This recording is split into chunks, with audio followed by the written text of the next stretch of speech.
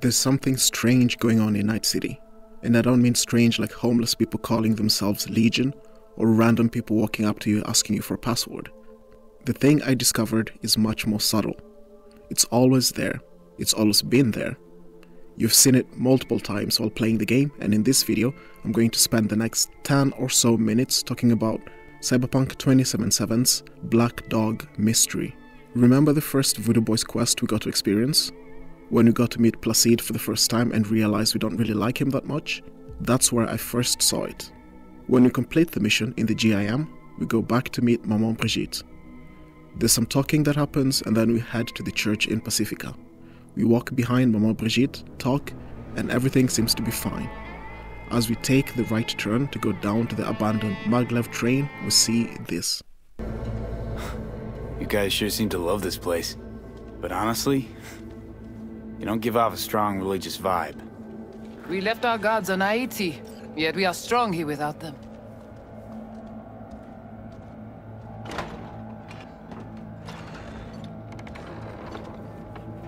This way.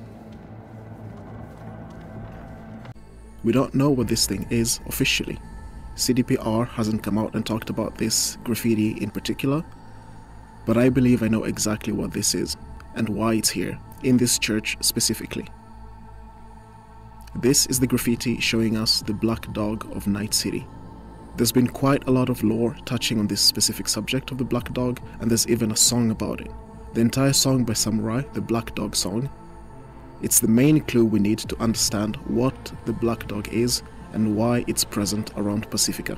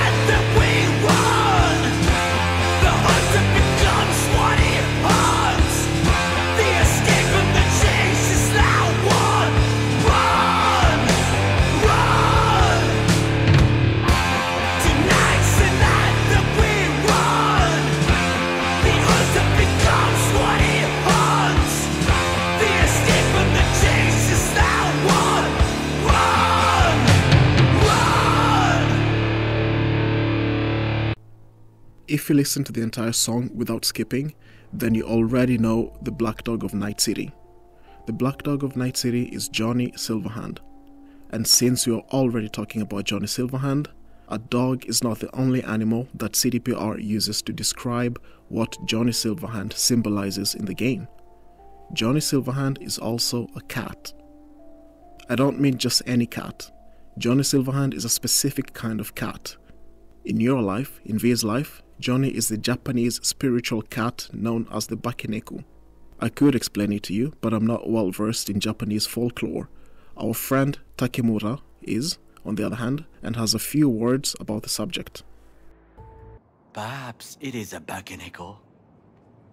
Back in What's that? It is a cat spirit. It brings misfortune, can restore the dead back to life.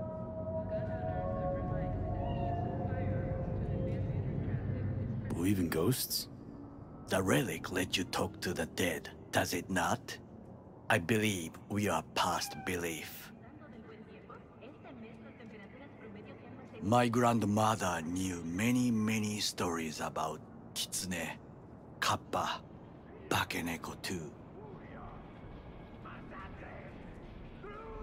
Where'd you grow up, anyway? I am from the slums of Chiba 11. Once when I was desperate to leave there, I... Ah, bad memories washed away by time. I long only for the simple days of childhood. Who else is to rule? Corrupt governments? The masses attached to feeders? Cynics? Nihilists? Like you? Come on, not everybody wants to change the world. Sadly, this is true. You already forget what happened at Tom's Diner? People hate corpos more than anything. Can't blame him either. Got some regrets, but clapping from Arasaka ain't one of them. Sometimes I wish to become a nomad, to leave this world, forget everything.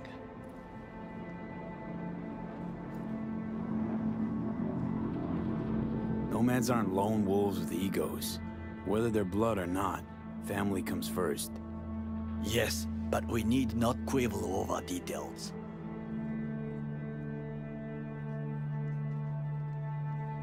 Do you know what I think? What's that? That day in Konpeki, we both have lost someone important. And we are not at peace with this. So we seek conflict, argue eagerly. Finally starting to make some sense. It is the duty of the living to atone for the dead. Hanako-sama shall aid us in our mission. Or she'll make sure we die for good. The Bakeneko got sick of us, looks like. It will find its own way. I don't feel the need to dwell on this aspect of it much further, so let's move on. Let's go back to the Black Dog theory and talk a little bit more about that. The song that we listened to earlier was completed during an old mission named Black Dog. This mission is found inside Cyberpunk of Red.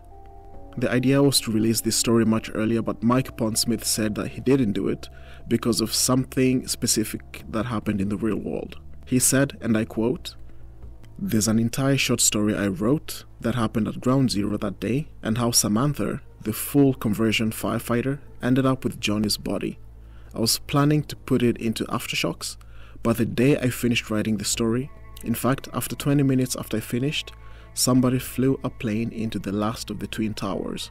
I had CNN on, and suddenly it was no longer appropriate to release it in the face of so much real world death. This more or less confirms that it's Johnny Silverhand's body that was being transported during the events of Black Dog in Cyberpunk Red. In the same mission, the song we listened to earlier was completed. So the connection to Johnny at this point is all but confirmed. But that's not the end of it. There's one last question I'd like to explore. The question is Is the graffiti we keep seeing real, or is it just in our heads? I know it looks real in the game, but is it actually there? Did the Voodoo Boys actually make it, or is it like one of those tarot cards graffiti that we keep seeing all around the city? Because if you remember correctly, those tarot card graffitis that we collect are only visible to us and not to everybody else who lives in Night City.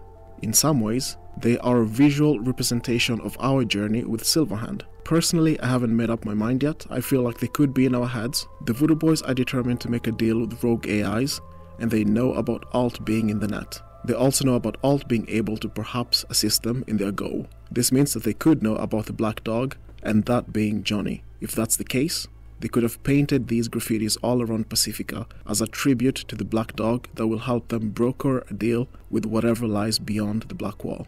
What do you guys think? Make sure to comment your thoughts down below. Thank you guys for watching this one, and I'll catch you guys in the next video.